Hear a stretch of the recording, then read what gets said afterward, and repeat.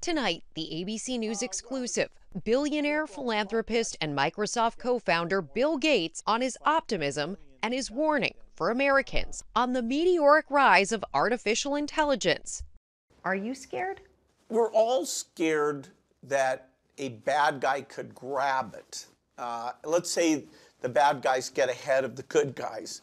Then something like cyber attacks, you know, could be driven by an AI the White House, the administration, regulators here in the US. Do you think they're up to speed? Uh, not yet. They're not ready. Not yet. I mean, why are they not ready? You're never going to have every politician understanding it, but how do you build up a capacity to review things? You know, they won't be the experts, but they have to be part of that discussion. Why not put a pause to it while we just figure out some of these very basic things? If you just pause the good guys and you don't pause everyone else, you're probably hurting yourself. You definitely want the good guys to have strong AI. Can you guarantee that? If you stop the good guys, you can guarantee it won't happen. Gates urging caution, but not pausing. We are with him in Kemmerer, Wyoming, about three hours south of Jackson.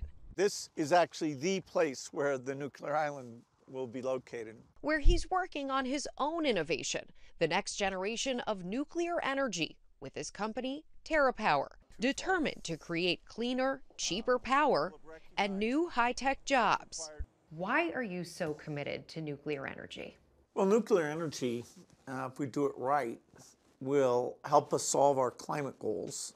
What do you say to the critics who say it's expensive. There are the safety and security issues, and then there's the issue of radioactive waste. Yes, today's plants are way too expensive. We've solved all the uh, areas where there have been safety challenges, and we have dramatically less waste. But every one of those areas you mentioned, there are valid concerns that TerraPower has to show that, that we've solved. Is everything different 10 years from now?